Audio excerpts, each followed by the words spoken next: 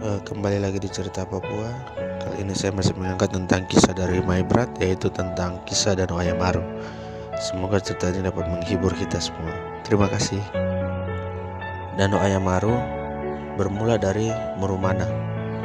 Murumana artinya kepala air danau. Pada suatu waktu di zaman dahulu, hiduplah seorang pemburu bersama seekor anjing kesayangannya di pinggiran kawasan Pegunungan Karts, Ayamaru. Pada suatu hari, seperti biasanya, pemburu tersebut bersama anjingnya mencari binatang buruannya di kawasan hutan Ayamaru. Setelah sampai di hutan, seekor anjing tadi mengejar seekor kuskus. Karena ketakutan, kuskus ini pun lari masuk ke dalam tanah.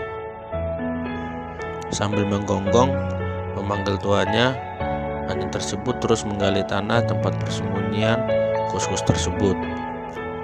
Metah, nemat buara. Artinya, anjing. Kamu dilihat barang apa?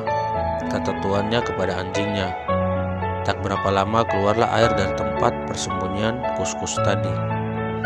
Makin lama, makin deras air yang memancar keluar dari dalam tanah.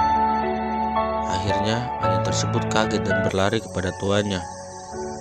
Pemburu tersebut melihat air deras menuju ke arahnya, maka secepat kilat dia pun melompat dan berlari. Mereka berlari dan berlari tanpa henti sampai mereka tiba di puncak gunung dekat Telaga Tiga. Akhirnya berhentilah air tersebut mengalir.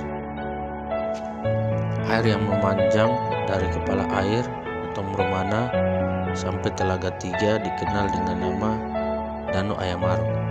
Nama Ayamaru sendiri memiliki arti ayah artinya air, Maru berarti danau yang artinya adalah air danau.